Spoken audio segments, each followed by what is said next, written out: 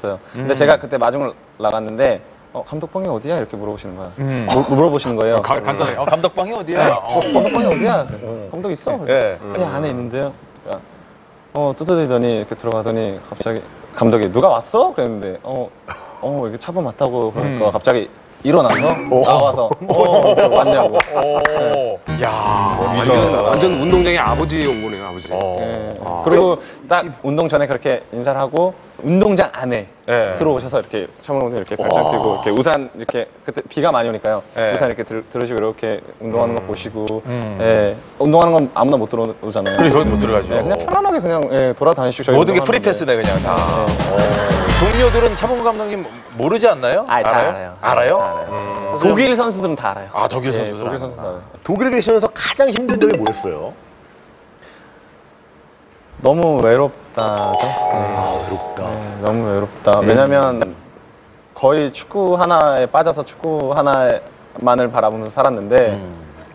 이제는 내가 무언가를 좀 해도 프로 선수로서 어느 정도 내가 병행을 할 수 있을 만큼의 경험이 쌓였는데 제가 독일에서 할 수 있는 일은 축구 말고는 다른 걸 찾기가 힘든 거예요. 한국 친구들이 없고 한국 사람들이 없고 그렇기 때문에 음. 1년에 10개월을 외국에만 있는 거예요. 음. 지금 한두 달 지금 여기 있는 거예요. 또 저는 독일에 가면 또 그렇게 또 생활을 하겠죠. 음. 오늘 만난 모든 분들을 다시 만날 수 있는 기회는 1년 후에 1년 다시 후에. 돌아온다는 시즌 끝나야지 만이. 네. 시즌 중에는 그냥 집에 있고.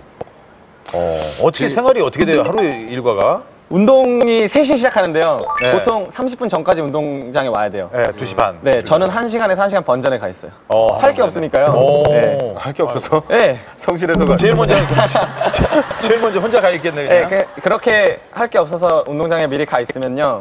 팔굽혀펴기라도 한 번 더 하게 되고요. 네. 예, 예, 축구화라도 한 번 더 닦게 되고, 한 번 더 보게 되고. 어. 예, 그리고. 세레머니도 한 번 더 연습하게 되고. 어, 또 끝난 몇 시에요? 운동을, 그러니까 3시에 운동을 하면 1시간 반을 운동을 해요. 네. 4시 반이면 딱 끝나요. 예. 5시 반이면 애들이 다 가요. 예. 그럼 저는 5시 반에서 6시에 가요. 왜요? 어, 집에 가면 할 게 없으니까. 그럼 뭐 하고 있어요, 여기서요? 혼자서 프리킥 차고 막 이런 거 하는 거예요? 아니죠, 아니죠, 아니죠. 그냥 뭐, 팔굽혀펴기 한 번 더 하고요. 어. 예. 축구화 한번 더 닦고, 예. 어, 팔이 좋아졌어요, 그래서. 아, 저도 그 얘기 듣고 그래요? 알게 됐는데 우리가 알고 있는 프로 선수들이 운동량이 엄청날 것 같은데 시즌 중에는 1시간 반? 그러게요. 이게 하루에 그냥 그거 말고 음. 없대요. 시간이 많은 거죠, 그만큼. 예, 개인적인 시간이 많다 보니까 오히려 더 외로움을 더 많이 느끼죠. 아하. 근데 외국에 있으면서 기성용 선수랑 통화를 자- 가장 많이 하는데요. 네.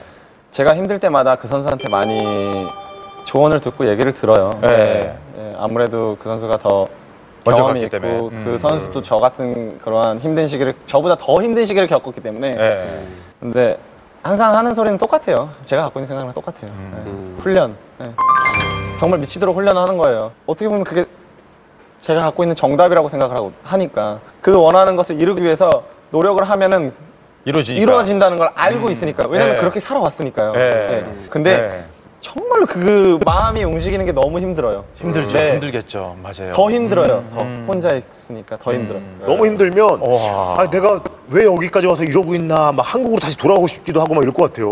저는 그런 적이 없는데 성영이가 저한테 그런 얘기를 해드- 해주더라고요. 우리 집에는 내 브로마이드가 벽에 걸려 있다. 왜? 그러니까 너무 외로워서 자기 스스로 이렇게 얘기를 거는 거예요. 대화를 하는 거예요. 브로마디들랑 대화하는 성룡아 안녕. 우리 한번 시작해 볼까? 아니 그러면 어, 그러면 진짜. 단도직입적으로 물어보자면 진짜 연애 정말 하고 싶겠네요. 예, 많이 하고 싶어요. 뭐왜 못하는 건데요? 독일에 그렇게 있는데 어, 어떤 사람 어떻게 뭐, 만날 저, 뭐 만나실 분 있나요? 이렇게 물어보면 누가 만나요? 마음 굴것 같은데 마음 굴것 같은데. 여기도 지금 난리 났어. 술렁거려요, 지금. 이히비리 이리베 디히 하고 지금 난리 났어. 트로크 썰라고. 누가에게 이렇게 소개받고 그런 거 없었어요? 네, 네, 없었어요. 단한 번도요? 소개를 받으려고 한 적은 있지만 받지 않고. 받지는 예, 어. 받아본 적은 없어요. 아, 그렇군요. 예, 지금 뭐 방송을 보고 계시는 뭐 몇몇 여자분들께서 아 그게 난데라고 하시는 분들 있을 수도 있어요. 네. 그런 게 아니구나. 네. 만나기로 네. 했었는데 안 만난 분들. 그렇지만 못 만났으니까. 어. 네. 이상형은 실례지만 어떻게 되세요? 예전에는 키 크고 예쁘고 뭐 예, 좀 네, 몸매 좋고 어. 네. 남자시네요. 어, 예. 지금은 뭐 키 작아도 상관없고요. 음. 아, 저쪽에서